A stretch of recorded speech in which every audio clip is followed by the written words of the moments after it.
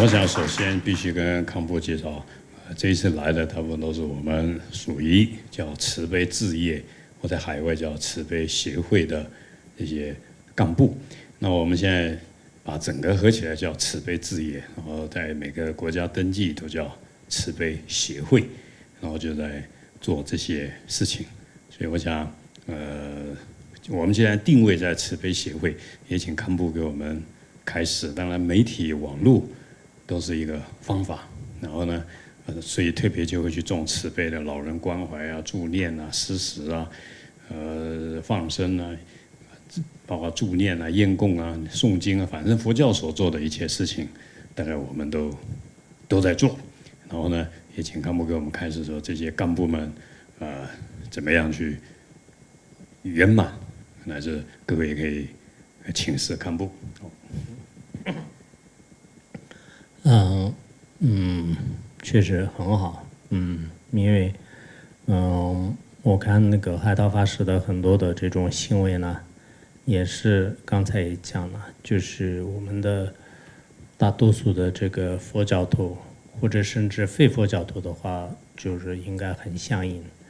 呃，为什么这么讲呢？大家都知道，我们如果一个很高的一些研究的理论呢，就包括昨天有些专家讲的一些很深的话，我们都就是不是特别的明白。但是呢，有时候佛教也是从比较深入的、就深层次的这样的研究也有必要的。但可能更重要的就是在世界各地，就现在还是需要，就是我们经常所谓的四树善根，啊、就是什么这个放生啊，就是做那个慈善呐、还有就是助念呐、就是以及我们这个护圣啊，就是等等，就是这样的这种行为的话呢，实际上大多数的人的根基呢，在这方面就是非常有缘的。呃，所以呃，现在我们的这个佛教要做比较深，就是人的话，可能要有一些研究团队啊，就是像佛学院呐、就是这个。那么要做光，就是也就是说圣光两个方面，就如果是我们在全世界各个地方的话呢，应该是从这个慈善，就是慈悲，呃，就是这个层面呢，就是下手作为切入点的话，啊、非常合理，而且我们经常啊、也是呃，就按照各个国家、各个民族的他们的这个传统文化。啊、他们的这种风俗习惯，他们这个所需要的这种方式来就是切入。我们佛教佛教徒呢，不能完全是非常死板的，就是比如说汉传佛教的阿弥陀佛，非要就是在一个地方读的话，也不一定；藏传佛教的观音心珠，非要在一个地方非常呃强强强迫的去读的话，可能不行的啊。你如果越南的话，越南有他的这个习惯，新加坡有新加坡的习惯，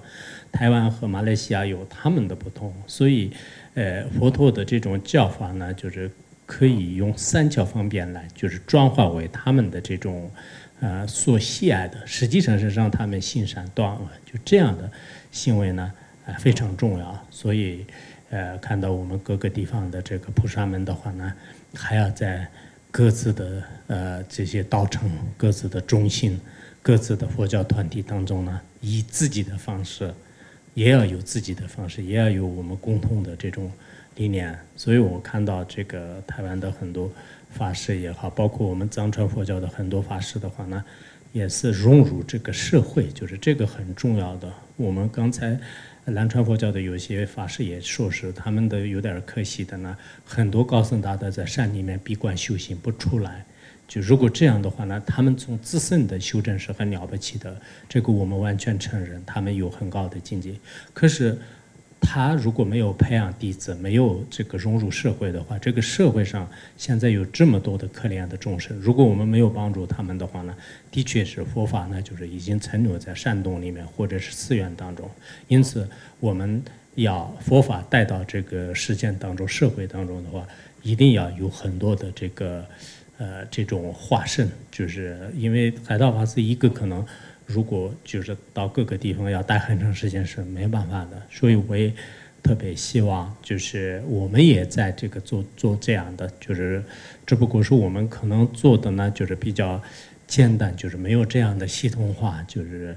其实我们很需要，就是呃，我看到那个呃辉光机里面也好，生命电视台的很多的你们全世界的联络点呐，就是我看到各个国家有这么多的话，有时候特别随性，发自内心的，哇，就是这么多的地方，就是有这么多的中心，就是每一个国家，因为现在是网络时代，就是一方面是可以说是国家与国家之间的已经距离就是很近了，但是如果我们没有争取机会的话呢，恐怕是这个很难的。所以特别感谢，我希望大家我们这个慈悲事业协会的导友们，就是菩萨们呢，还要就是不断的努力。这次你们参加这个世青会的话，大家也可能也许感觉得到，就是我们这个佛教呢，有时候是理论上的话他们都会讲，但是实际上让他们做好多教授做的话，那他们都不会做的。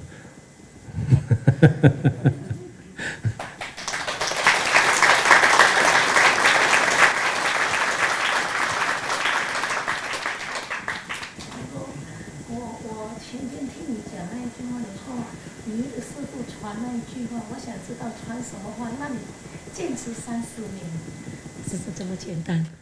其实传那句话就很简单，就是当时我们去五台山的时候呢，我也因为当时我汉语很差，就到现在我普通话的很多的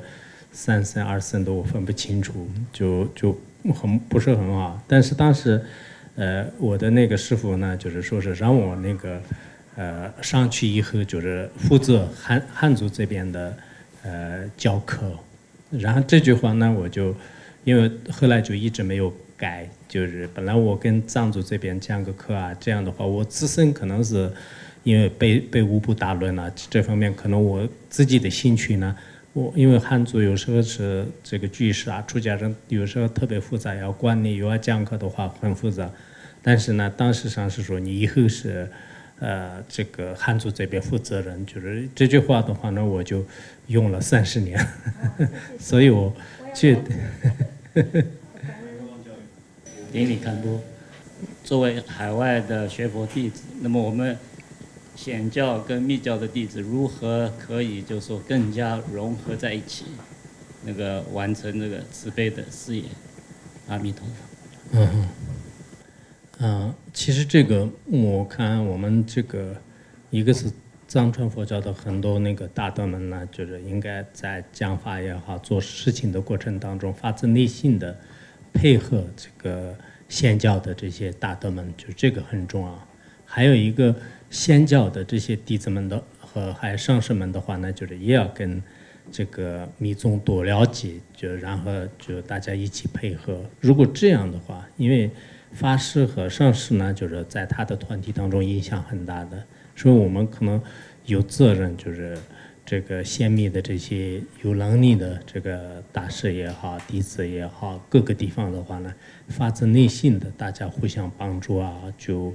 呃确实没有本身佛佛教先密没有什么这个差别的，完全是圆融的。就像我们藏传佛教每一个寺院都是先密双修的，所以我觉得可能我们就是以后多沟通，就是多在这方面做一些努力。呃，这样可能是最好的。嗯，因为弟子所在的环境的呃关系，身边有一些朋友，他们是呃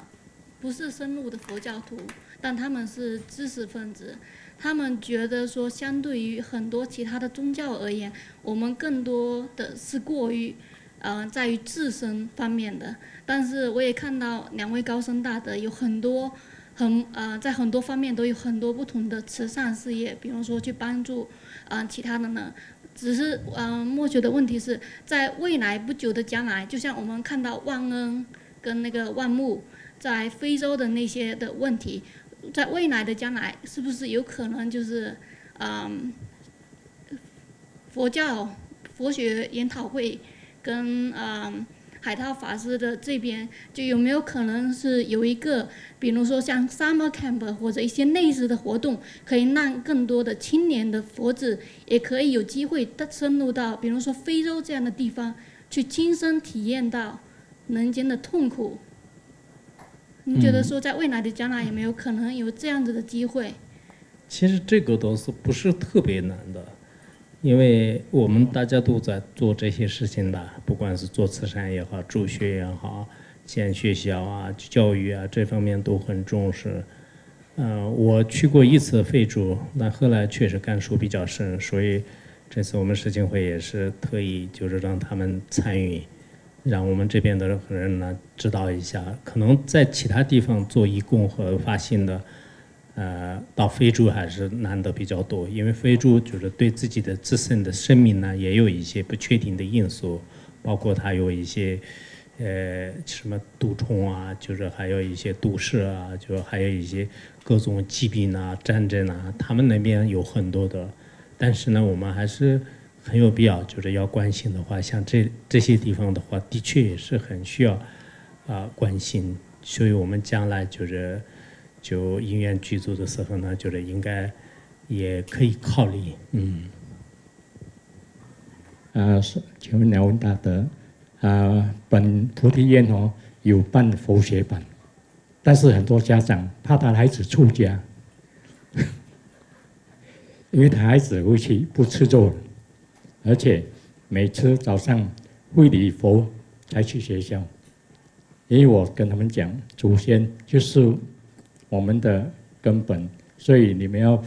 早上要拜祖先，跟他顶礼先，才去学校，保佑我们一路平安到学校，然后回来时候再顶礼，保佑我们平安到家。所以他们的父母亲讲，以后我的孩子会不会出家？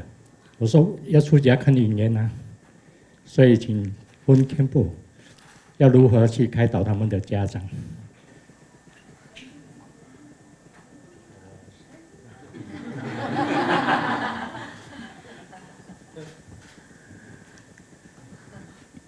有时候对我来讲，我只能有一句话叫“以心传心”，因为有些人你没办法用嘴巴跟他讲，但是你可以用心跟他沟通。就是说，这一点对我学习以来我觉得很重要。这个人很喜欢喝酒，所以我用内心跟他说法，然后呢功德回向给他。我发觉有一些改变，那就算没改变，那至少我做到我该做的。但是如果你不，如果你嘴巴不能跟他讲，然后心也没跟他讲，那你就被卡住，就有一点压抑，对不对？这样对自己也不好。但是，当然佛教的现代化以及出家才是真正孝顺父母的这个观念，如何落实在汉人？因为汉人他们太重视孝顺跟祖先，一定要让他们知道，如果你要你的儿女真正能够孝顺你，而且对他有帮助，从这个入门有时候还比较容易。呃，出家不是离开你们，出家是为了你们。这个是南传佛教的思想。南传佛教出家都是为了父母，所以他们很喜欢小孩子。你赶快去出家几天嘛，这样我才会发财。嗯，好。对，法师的观点完全赞同，我也是这样的意思。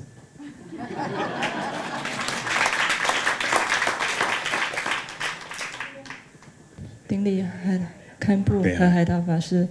那其实昨天呢，就听到嗯，那个南传的尊者，他是说，那个那个时候去年嘛，上瑞他那个大地震，然后很多寺院家庭都毁了。那他去曼谷那个那边招记者招待会，然后又因为媒体的力量，还有就是现在社交媒体的种种力量呢。能够非常快速的把好的事情去传播给更多人知道。那其实社会上有很多想要帮助，嗯，有需要帮助人的地方。那我是想请问，嗯，堪布还还还有海涛法师，就是说，在现今的社会呢，其实嗯，要帮助佛法的这个兴盛，嗯，如何可以用这个这种科技？嗯，还有这个媒体方面去帮助，有什么需地方是特别需要的？好像有我尤其有发现到这次的事情会哦，因为很多年轻人的关系，所以这个讯息是这个佛教这个幸福的这个讯息传的特别快。因为本身亲身经验的就是年轻人，他们所谓弘法的工具呢，就是这些电脑啊、手机啊等等。那因为会这个是这个一个趋势嘛，会越来越多人在这一块，因为手机的是不离身的，所以，变成我想要问问的问题是说，什么样的内容、什么样的方向是我们可以去贡献的？啊，谢谢法师。嗯，呃，你说的对，确实现在这个信息时代啊，就是一定要掌握这个高科技的技术。嗯，包括我们佛教团队，新法师那个海达法师是，呃，很早就已经醒过来了。我是醒的比较晚，睡懒觉，但我也觉得。就就用了一部分，就是包括一些网络啊，就是这个呃一些媒媒体吧。我们都是没有什么电视台啊，就是最多是一个微信和 Facebook。但是呢，呃，就是这个呃，如果我们没有掌握的话，就很困难。所以我们的这个技术人员可能不断的要学，就是这个很重要。就是因为他日新月异，就是就几天当中就换一个。包括我们的这个机器的使用和媒体的方法都变了，所以这是一个。第二个，我们可能用智慧来抉择，就是哪些是可以用，哪些是不能用。就是在这个时候，一定要就是懂得这个全世界的，不仅是我们佛法，就甚至可能国家的各个国家的政策的导向，就这些也要明白。否则的话，我们网络上一个信息、一句话发出去了以后呢，就是全世界的人。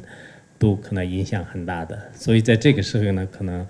呃，我尤其是我们的一些重的这个策划的人，或者是过目的这些人的话，那就是一定要懂懂实践法和处实践法，佛法方面也要懂，佛法不懂的话，可能这个内容就是如果偏了，就这样的话，就是对大家影响也大。还有实践法方面的话呢，也要明白，可能整个大陆的趋势、美国的趋势，包括。很多的这个道理呢要明白，所以在这个方面，可能，呃，我看这个法师呢，就是确实用的这个人才，就这些都是很优秀的。我也希望可能在座的还要，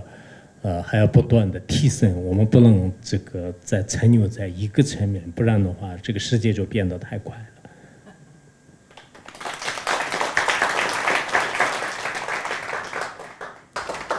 尊贵的 Campbell。我想说，你可以给我们生命电，你都一直有在关注我们生命电视台，可不可以给我们生命电台在节目上面的，在更更在更好的一些建议这样子？因为我们也希望能够突破，再做更好的节目。阿弥陀佛。嗯，以前我经常看那个生命电视台，这几年也比较忙，就是看的不多。但是呢，加拿大的、美国的。这个英国和法国的，他们都经常看，呃，他们都上面就就学到很多的一些呃知识，因为作为一些在家人的话，他们平时都需要呃从既有一些现代的这种媒体味道的，同时呢，可能呃自己也作为一个佛教徒的身份，就是也需要这方面的营养，所以。我听他们说呢，就是，呃，确实是在这方面就是得到了很大的这个利益。嗯，我呢就是今天没有什么新的建议，但是一个是我们做媒体也好，做任何事情要要做细，嗯，因为做事情过程当中时间长了以后，就是到一定的时候都比较累了，就是所以，呃，就有时候可能很容易。比较散乱呐，或者说是，呃，比较马虎啊，就是有这种，所以，尤其是现在的这个媒体和文字、网络社交，就这个问题呢，一定要有一个很严谨的逻辑的这种思维方式来就是抉择。呃，第二个呢，就是我们的在座的各位呢，我也有这种感觉和经验吧，就是要长期的发心，人要稳重。就是作为一个工作人员、发信人员呢，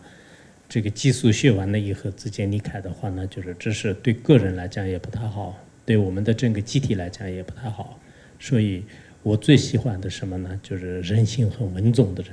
嗯，就不是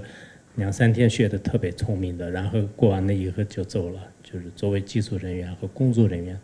要自身要这个人稳重。然后作为观众来讲的话呢，呃，对自己所爱的或者是有信心的这个媒体呢，应该长期作为自己的可松本一样的，就经常看，因为从中你得到了这个很多的正面的智慧和慈悲。所以我想。呃，现在这个时代当中呢，就是依靠这个电视和这种媒体来得到智慧和慈悲是非常难得的。我特别随喜你们有这个平台和有这么好的一个三知识吧。就其实，呃，说起来是电视台，实际实际上呢，它就是一个二十四小时不断的，就是这么一个智慧的三知识。这个是。就可以说是活生生的这个诸佛菩萨的化现，所以我们还是要珍惜这种机缘。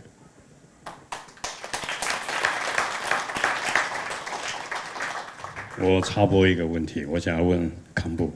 你觉得你现在最痛苦是什么？最困难是什么？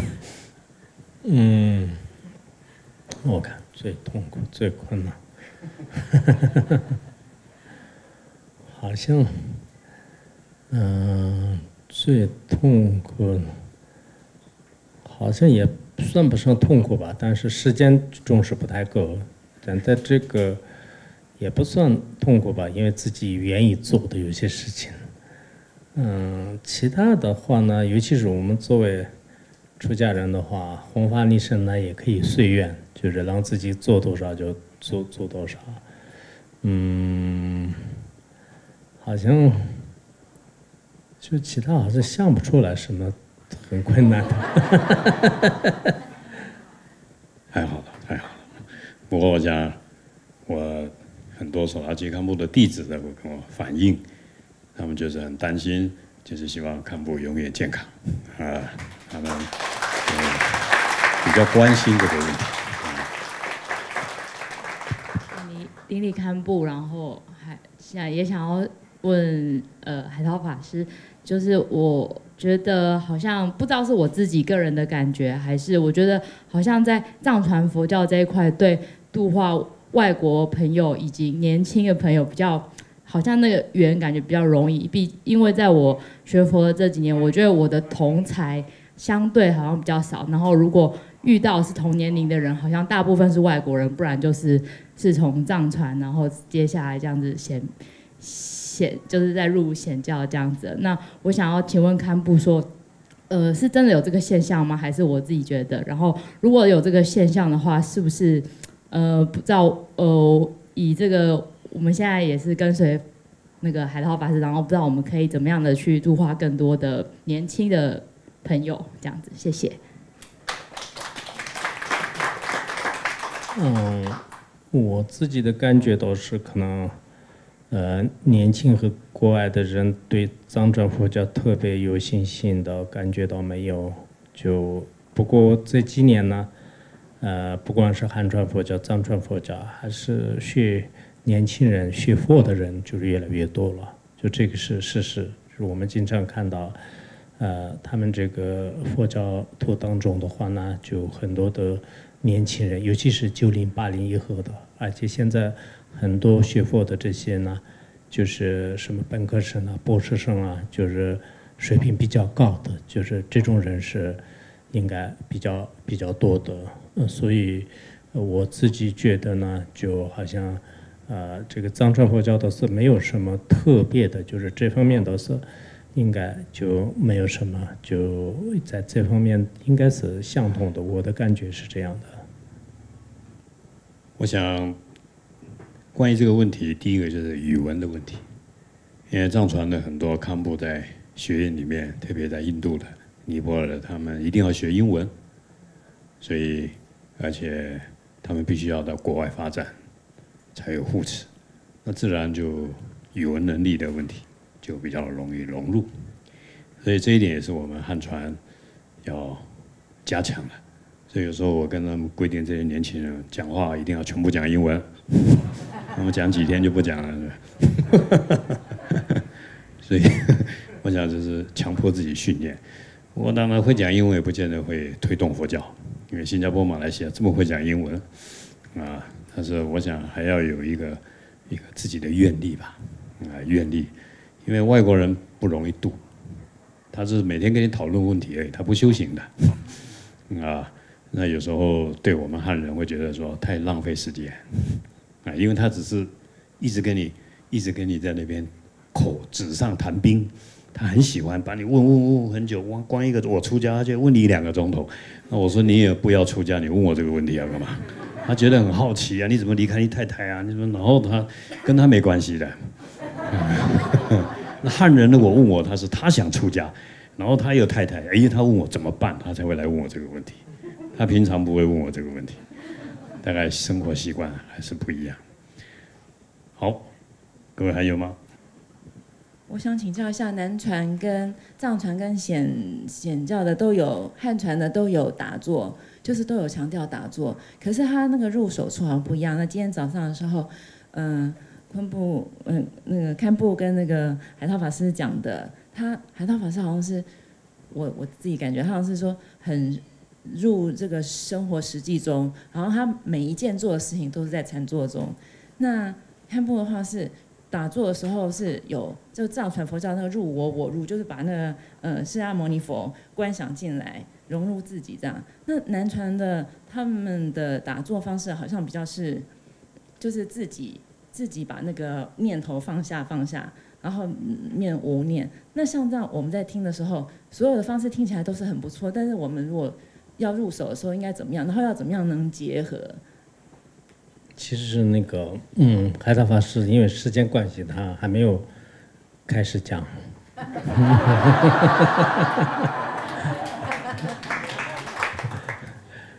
不过他们这南传佛教跟韩韩传佛教、藏传佛教都有相同点，就是，呃，我们藏传佛教当中也有放下放松，汉传佛教也有，包括我们这禅堂里面的很多的禅修方法，打打呃禅气。很多都这样的，就是只不过他们真言禅修是比较重视他们的那那一半，但他们也有就是观佛的，就是包括我今天早上翻译的那个案例的话呢，他也也说他们那个把自己的心和佛就是变成无二无别。他们南传呢有一部分大的就是开始提倡这样的，所以在生活当中看你哪个适应，哪个对你自己对这烦恼。对这分别点起作用，就修那个；或者是对哪一个这个传承感兴趣、有信心的话，也可以修这个。啊，阿弥陀佛，丁力堪布，丁力海涛法师，呃，在这里想呃，请问呃，堪布一个问题哈，因为今天早上我们呃有学习到有基本上有两两三种不同的禅修方式，那呃，堪布就有教我们呃如何观想。如何把释迦牟尼佛放在心中，融入我们的心里？然后，哎，海涛法师就有教我们，呃，在平时在行住坐卧都呃立了大大众的那个慈悲心。那如果我想想请问一下，如果在我们的呃行住坐卧，在一个呃念佛人来说呢，那我们平时我们行住坐卧就就我们都会去想去利益众生，但是我们心里面只是一个一一句啊佛号或者是 Om Mani Padme Hum。这样子的话，或者是在禅修过程中，呃，我们只只是念佛，这样会有冲突吗？是应该有佛号呢，还是要放下那个佛号去禅修呢？嗯，这个都嗯不矛盾的。如果你大做就是就完全想禅修的话，呢就是今天我们就刚开始讲的一样，就是可以这样的。然后，如果你就是得到这个佛，我们一般佛教里面讲出定和入定了。在入定的时候，你就可以安住在你的禅的境界当中；然后出定的时候呢，就是你就把佛和菩萨的加持融入自己的身体，自己的所有的行为呢，跟这个佛菩萨的慈悲心无二无别，就这样去做。就这个叫做合德，就是就出定以后的这种行为。所以这个不离开智无菩萨的加持。但你在参禅的时候是，呃，入于这种清净的定。当然，有些境界比较高的话呢，那你出定和入定都是一样的。就是那个时候念咒语的时候也是参禅，就参禅的时候也是可以行持各种各样的事业。但我们一般人呢，就是可能执行词，你就入定的时候可能没办法念咒语，念咒语的时候没办法入定。感恩堪布，阿弥陀佛。嗯，我想顶礼堪布，我想请问一下，我在想说那个出离心的问题啊，藏传佛教第一个要接受的话，就是要先有出离心，但是我觉得出离心这个东西是。你受挫折的时候，或者是你是一个比较学术性的人，他做学术研究，所以我认为为什么是博士生、研究生比较多的原因。但是对于一般正常的人，他没有任受到任何的，没有受到任何波动的人，我们如何去度化他？更甚，现在物欲横流，为什么我觉得年轻人很难？因为年轻人他接受讯息太多了，那这个东西对他来讲的话，我觉得会相当困难去引导他们。所以我想请问，堪布，因为我想说，要哪个点切入会比较快？嗯，处理性都是很重要，确实是我们这个入门的时候，昨天海涛法师也讲了嘛，就是处理性、菩提心和空性智慧，就是这个藏传佛教当中也讲了，就是确实这样的。但是每一个人不一定刚开始的时候有处理性，就像阿难出家的时候，刚开始没有处理性。但慢慢慢慢，他看到地狱和恶鬼以后呢，就是才升起处理心。所以我们刚开始的时候，就是产生真实的处理心都有一定的困难。但在这里要说明的是，处理心是所有的南传佛教也好，我们这个三传佛教的这个基础。当然，就是刚开始我们要度化这些年轻人或者学术界的人，就让他们产生处理性的话。有一定的困难，所以对他们可能是有一种思辨、逻辑推理，就就一定要给他，就是通过辩论呢，就是就让他这个无无可言说。就这这个时候，可能也许他是口服幸福的。在这个之前呢，一般我们一块信息呢、处理性和菩提心的话，很多年轻人分别念特别重，就很难很难度化。所以我们现在开世进会的话，那也。有些是只是给大家种下一个善根，就是听到很多善知识的语言的话，也许他们相续当中能种下一个。有些的话呢，尤其刚才海涛法师说的一样的，有些国外的人就是更有，就他分别念特别特别重，就他一般都是不可能接受其他，而且他们大多数都有一些其他宗教的背景，所以我们在在做的过程当中的话呢，就是也是给他的耳边念一些佛号，就是也让他他们也知道。原来这个我们佛教团体当中的话，还是是有很多都是是，呃，科学界的人也好，还有一些非常有智慧的这些人，就是通过这种方式来逐渐就是，去压制他们的烦恼和傲慢。哎，海涛法师慈悲，阿弥陀佛。呃，有一个问题，就是《西藏生死书》里面讲到的四十九天，每一天的不同的情境。这个你应该问说教什么？没有因缘。他走了。问我们念个都没用，不是我们念写的。哦。那你说吧。好的，那就是说每一天的那个景象，在中阴身的时候，这个如果是修藏传佛教的话，他应该会看到这一个个景象。一呃，那我们如果是修汉传佛教的话，会不会在中阴身？其实这些嗯景象呢，又是有有产生，只不过是不认识而已。不管是你的修什么呢，就是都有。这种恐惧啊，或者说愤怒本尊啊，就是这些有就，但是你以前对这个法没有接上善缘的话呢，当时就很快就过了，就是你就没办法认识了。嗯。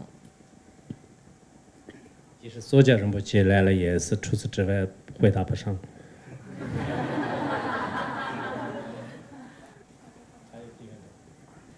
他们是定力堪布仁波切，定力海道法师，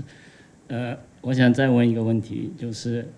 禅宗的明心见性跟藏传佛教的大圆满或者大手印的圆满境界到底有什么差别？差不多吧。显教里面就很多证的那个金刚不坏身，那么密教有呃红化身，这点上好像是密教的很就殊胜的一点。那个您能不能解释一下？对，但这个可能各教派自己都有很多的理论和一些巧诀和，还有它的一些依据吧。对。嗯，应该每个教派他们自己认为是自己是最高的，但是呢，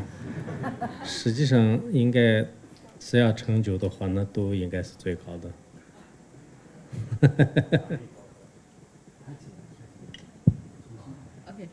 呃，每一次如果有发挥的话，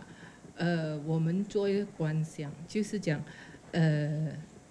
因为我们可以借用法师的力量。因为他们比较有这样的能力嘛，我每次这样观想可以吗？因为我觉得众生真的是很苦，所以我就把地球就是整个说啊在中间，然后法师就是围绕着旁边，这样给他们种下一个因，就是有给他们有一个呃佛法的因，因为等那个时机成熟了，然后他们也是有呃可以。佛可以帮助他们，这样可以吗？可以啊，很好。依靠法师的这种智慧啊、慈悲啊，就融入自己的身体，然后自己开始发愿度众生。这样的话，有特殊的这种力量。一般我们藏传佛教当中经常有一些上师瑜伽，上师瑜伽的这个修行也实际上是。就是法师的这个事业和法师的这种智慧和慈悲，就融入无二无别的一种力量。其实这个确实有很大的力量。昨天我们可能看得出来，索教仁波切一方面很幽默，但是他对上师们的这种信心是非常大的。这不仅仅是昨天，二十四二十四年前，我们九三年的时候，访问金门朋友就一起我们去过他的道场嘛。当时我的感受很深的，就是他对上师们的。